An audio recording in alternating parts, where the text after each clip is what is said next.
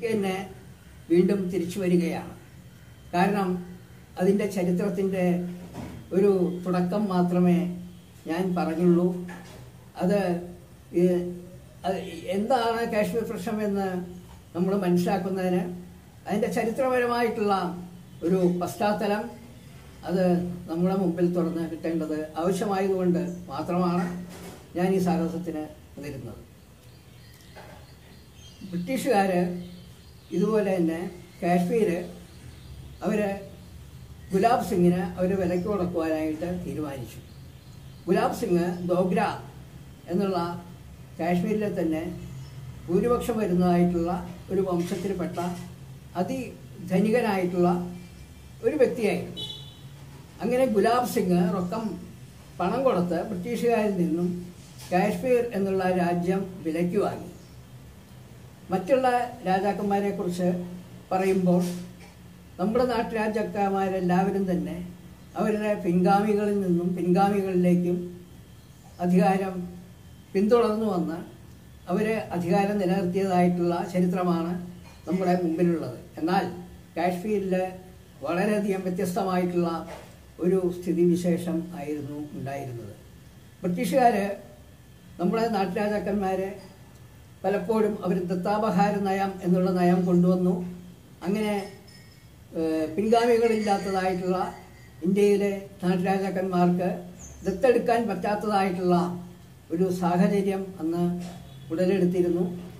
അങ്ങനെ വരുമ്പോൾ ആ രാജ്യം ബ്രിട്ടീഷ് ഇന്ത്യയിൽ ലയിക്കുമെന്നുള്ളതായിട്ടുള്ള ഒരു പ്രഖ്യാപനവും ബ്രിട്ടീഷുകാർ നടത്തിയിരുന്നു. അങ്ങനെ വലിയൊരു സംഘർഷഭരിതമായിട്ടുള്ള അന്തരീക്ഷം ഇന്ത്യയുടെ നാട്ടുരാജ്യങ്ങളിൽ അന്ന് നിലവിലുണ്ടായിരുന്നു. എന്നാൽ കാശ്മീരിന്റെ സ്ഥിതി അതിൽ നിന്നെല്ലാം വളരെ വ്യത്യസ്തമായിരുന്നു. കാശ്മീര് പണം കൊടുത്ത് വാങ്ങിയതായിട്ടുള്ള ഒരു സ്ഥലമാണ്. ഒരു വ്യക്തിക്ക് കുറച്ച് ഭൂമിയുണ്ട് പത്ത് സെന്റ് ഭൂമിയുണ്ടെങ്കിൽ അതൊരു മറ്റൊരു വ്യക്തി അയാളിൽ നിന്നും അതിന്റെ വ്യക്തമായിട്ടുള്ള രേഖകളും എല്ലാം സമ്പാദിച്ച് അതിന്റെ പണം അടച്ച് കരം അതിന്റെ വേണ്ടതായിട്ടുള്ള നിയമപരമായിട്ടുള്ള കാര്യങ്ങളെല്ലാം നിർവഹിച്ച് ആ സ്ഥലം തീർ വാങ്ങുകയാണെങ്കിൽ തീർച്ചയായും ആ വ്യക്തിയുടെ ഈ വാങ്ങുന്ന വ്യക്തിയുടെ പേരിലായി തീരും ആ വസ്തുത. അതിൽ മറ്റുള്ളവർക്കൊരു അവകാശവും ഉന്നയിക്കുവാൻ സാധ്യമല്ല. ഇതായിരുന്നു കാശ്മീരിന്റെ കാര്യത്തിൽ ഉണ്ടായിട്ടുള്ളതായിട്ടുള്ള ഒരു പ്രത്യേകത. ഒരു വ്യക്തി വാങ്ങിയതായിട്ടുള്ള രാജ്യമായിരുന്നു കാശ്മീർ ഗുലാബ് സിംഗിന് ശേഷം അദ്ദേഹത്തിന്റെ തലമുറ കാശ്മീരിൽ ക്രമ ക്രമമായി തന്നെ രാജാധികാരം നിർവഹിച്ച് വന്നിരുന്നു. ഇന്നത്തെ മഹാരാജാവായിട്ടുള്ള കരൺ സിംഗിന്റെ അച്ഛനായിരുന്നു അന്നത്തെ മഹാരാജാവായിട്ടുള്ള ഇതിനു മുമ്പ് ഈ പ്രശ്നങ്ങൾ നടക്കുമ്പോൾ അവിടുത്തെ മഹാരാജാവ് കാശ്മീരിലത്തെ മഹാരാജാവ്. ഇതിന് പ്രധാനപ്പെട്ട കാര്യം എന്താണെന്ന് വച്ചാൽ അന്നത്തെ മഹാരാജാവായിരുന്ന ഹരിസിംഗ് അദ്ദേഹം സുഖലോലുപതയിൽ മുഴുകി ജീവിച്ച ഒരു രാജാവായിരുന്നു. ഇംഗ്ലണ്ടിലേക്കും അമേരിക്കയിലേക്കും മറ്റുള്ള പാശ്ചാത്യ രാജ്യങ്ങളിലേക്കെല്ലാം അദ്ദേഹം നിരന്തരം യാത്രകൾ നടത്തുകയും അവിടുത്തെ ചൂതാട്ട കേന്ദ്രങ്ങളും ഇത് ഇങ്ങളിലെല്ലാം അദ്ദേഹം സ്ഥിരമായി താമസിക്കുകയും ചെയ്തിരുന്നു മഹാരാജ ഹരിസിംഗ്.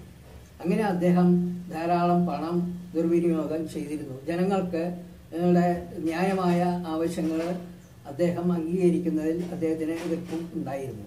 അന്നത്തെ കാലത്ത് ജനങ്ങളുടെ പ്രക്ഷോഭണം ഇതിന് എതിരായിട്ട് ശക്തമായിട്ട് ഉയർന്നു വന്ന ഒരു കാലഘട്ടവും ഉണ്ടായിരുന്നു. ഇന്ത്യയിലെ സ്വാതന്ത്ര്യ സമരം തീവ്രമായിട്ട് മുന്നോട്ട് കൊണ്ടുപോയിരുന്ന ഒരു ഘട്ടത്തിൽ തന്നെ കാശ്മീരിലും അവിടുത്തെ രാജഭരണത്തിന്റെ തെറ്റായ പ്രവർത്തനങ്ങൾക്കെതിരായിട്ടുള്ള ജനകീയ നീക്കങ്ങൾ നിന്നിരുന്നു. ഷെയ്ഖ് അബ്ദുള്ള എന്ന പേരായ ഒരു നേതാവാണ് അന്ന് അതിന് നേതൃത്വം കൊടുത്തിരുന്നത്. ക്രമേണ ഈ മഹാരാജാവ് ഈ ഷെയ്ഖ് അബ്ദുള്ളയുടെ സഹായം കൂടാതെ തനിക്ക് മുന്നോട്ട് പോകാൻ പറ്റില്ലെന്ന് മനസ്സിലാക്കുകയും അദ്ദേഹത്തെ കാശ്മീരിലത്തെ പ്രധാനമന്ത്രിയായി നിയമിക്കുകയും ചെയ്തിരുന്നു. കാശ്മീരിലെ പ്രധാനമന്ത്രിയും രാജാവ് ഇതിനെല്ലാം പ്രത്യേക പേരുകളാണ് അവിടെ നിലനിന്നത് അങ്ങനെ പൂർണമായിട്ടുള്ള സ്വാതന്ത്ര്യമുള്ള ഒരു രാജ്യമായിട്ടാണ് കാശ്മീർ ആദ്യവും അറിയപ്പെട്ടിരുന്നത്. എന്നാൽ ഈ പ്രശ്നങ്ങൾ ആരംഭിക്കുന്നത് ആയിരത്തി തൊള്ളായിരത്തി നാൽപ്പത്തി ഏഴിൽ ഇന്ത്യ പാകിസ്ഥാൻ വിഭജനം വന്ന ഘട്ടത്തിൽ ഇന്ത്യയിലെ നാട്ടുരാജ്യങ്ങൾക്ക് ഒരുപക്ഷെ വേണമെങ്കിൽ അവർക്ക് ഇന്ത്യൻ യൂണിയനിൽ ചേരാം ഇല്ലെങ്കിൽ പാകിസ്ഥാനിൽ പോവാം ഇല്ലെങ്കിൽ സ്വതന്ത്രമായിട്ട് നിലനിൽക്കാം എന്നുള്ളതായിട്ടുള്ള ഒരു നിലപാടാണ് ബ്രിട്ടീഷുകാർ സ്വീകരിച്ചത്.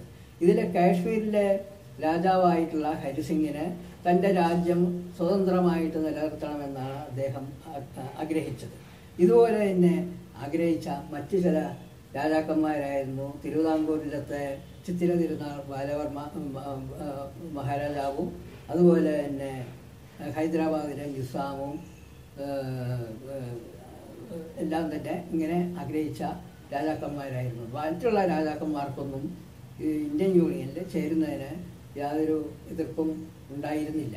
ഇതിലെ കാശ്മീർ മഹാരാജാവ് വളരെ തന്ത്രപരമായി തന്നെ നീങ്ങുകയും അദ്ദേഹം സ്വതന്ത്രമായിട്ട് ഇന്ത്യയുടെ സഹായത്തോടു കൂടി തന്നെ മുന്നോട്ട് പോകാൻ തീരുമാനിക്കുകയും ചെയ്തിരുന്നു.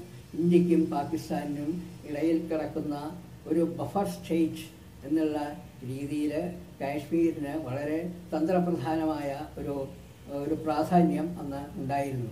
ഇത് ഇന്ത്യയും പാകിസ്ഥാനും എല്ലാം തന്നെ തിരിച്ച് ഇറങ്ങിയിരുന്നു എന്നുള്ളതും കൂടി വാസ്തവമാണ്. ഇങ്ങനെയുള്ള ഈ അവസരത്തിൽ ഈ പാകിസ്ഥാനിൽ എങ്ങനെയെങ്കിലും തങ്ങളുടെ അധികാരം കൈവശപ്പെടുത്തണമെന്ന് അന്ന് പാകിസ്ഥാൻ ഗവൺമെന്റ് തീരുമാനിച്ചു. അന്ന് മുഹമ്മദ് അലി ജിന്ന പാകിസ്ഥാന്റെ സ്ഥാപകനായ മുഹമ്മദ് അലി ജിന്ന അന്ന് ജീവിച്ചിരുന്നിരുന്നു. അദ്ദേഹവും അതിനുവേണ്ടി തന്ത്രപരമായിട്ടുള്ള കരുക്കൾ നീക്കിക്കൊണ്ടിരുന്നു എന്നുള്ളതാണ് വസ്തുത. ഇതിൽ നെഹ്റുവിനെ സംബന്ധിച്ചിടത്തോളം നെഹ്റുവിന്റെ കുടുംബം വളരെ പുരാതന കാലത്ത് അവർ കാശ്മീരിൽ നിന്നും വന്ന ആളുകളായിരുന്നു. കാശ്മീരിൽ നിന്നും ഉള്ളതായിട്ടുള്ള ഒരു ബ്രാഹ്മണ വിഭാഗമായിട്ടുള്ള പണ്ഡിറ്റ് വിഭാഗത്തിൽപ്പെട്ടവരായിരുന്നു നെഹ്റുവിന്റെ കുടുംബം. അതുകൊണ്ട് നെഹ്റുവിന് ജവഹർലാൽ നെഹ്റുവിനും ഈ കാശ്മീരിനോട് വളരെ ഒരു വളരെ ഒരു ബന്ധം അദ്ദേഹത്തിന് ആത്മീയമായിട്ടുള്ള ഒരു ബന്ധം ആ കാശ്മീരിനോട് അദ്ദേഹത്തിന് ഉണ്ടായിരുന്നു. എന്നുള്ളതും കൂടി വളരെ സത്യസന്ധമായിട്ടുള്ള ഒരു കാര്യമാണ്. അദ്ദേഹം കാശ്മീരിനെ അദ്ദേഹവും വളരെയധികം സ്നേഹിച്ചിരുന്നു. എന്നാൽ ഇതിന്റെ എല്ലാം പ്രധാന കാര്യങ്ങൾ കാശ്മീർ വളരെ തന്ത്രപ്രധാനമായിട്ടുള്ളൊരു രംഗം സ്ഥിതി സ്ഥിരമായിരുന്നു എന്നുള്ളതാണ്. എന്ന് മാത്രമല്ല കാശ്മീരിന്റെ ഒരു വശത്ത് ചേർന്ന് കിടന്നിരുന്നതായിട്ടുള്ള ഒരു ഭൂവിഭാഗം ആ ഭൂവിഭാഗത്തിലെ ഇന്ത്യയിൽ നിന്നും മറ്റുള്ള നാല് രാഷ്ട്രങ്ങളിലേക്ക് പാതകൾ തുറന്നിരുന്നു. ഒന്ന് ചൈന രണ്ട് അഫ്ഗാനിസ്ഥാൻ മൂന്ന് സോവിയറ്റ് യൂണിയൻ. ഇങ്ങനെ മൂന്ന് രാഷ്ട്രങ്ങളിലേക്കും നമുക്ക് പോകാൻ പറ്റിയതായിട്ടുള്ള ഒരു തന്ത്ര വളരെ തന്ത്രപ്രധാനമായിട്ടുള്ള ഒരു പ്രദേശമായിരുന്നു അത്. അതുകൊണ്ട് തന്നെയാണ് ഈ സ്ഥലം കൈയടക്കുന്നതിനെക്കുറിച്ച് പാകിസ്ഥാൻ വളരെ ഗാഠമായിട്ട് ആലോചിച്ച് കൊണ്ടിരുന്നു അവർ ഒരിക്കൽ ആയിരത്തി തൊള്ളായിരത്തി നാൽപ്പത്തേഴിന് ശേഷം നാൽപ്പത്തെട്ട് എത്തിയപ്പോൾ പാകിസ്ഥാന്റെ ഒരു സൈനിക വ്യൂഹം അവർ വേഷം മാറി.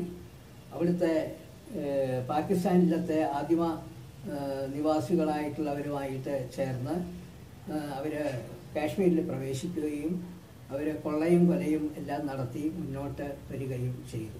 കാശ്മീരിലെ ജനവിഭാഗങ്ങളിൽ ഏതാണ്ട് എൺപത് ശതമാനത്തോളം മുസ്ലിം സമുദായത്തിൽ പെട്ടവരായിരുന്നു.